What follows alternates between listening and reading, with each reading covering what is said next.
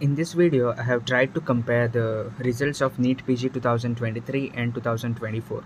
For ease of comparison, I have only used the scores from uh, this evening shift, that is the second shift of uh, NEET PG 2024.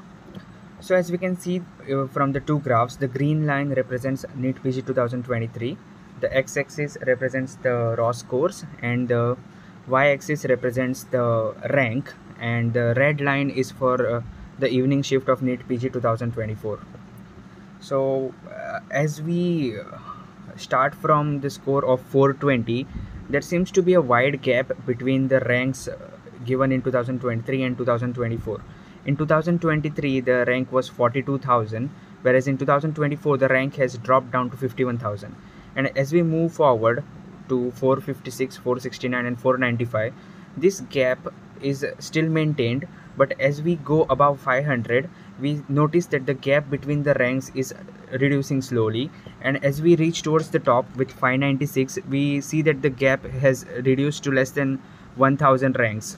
So uh, we can conclude from this that as uh, at the top within the first 10000 ranks uh, the rank inflation has not uh, affected the scores too much whereas as we move forward beyond 10000 as we move towards the ranks of 40000 to 50000 we see that the rank inflation has affected a lot of students quite badly.